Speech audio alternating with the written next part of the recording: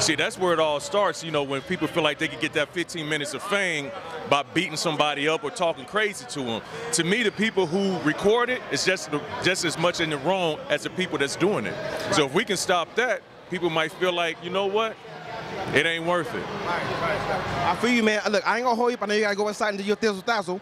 I'm gonna let you do with that. Give out your Instagram to everybody on TV land. Man, I'm Vincent M. Ward on everything. Yes, sir. Superstar right here. Let's get it cracking.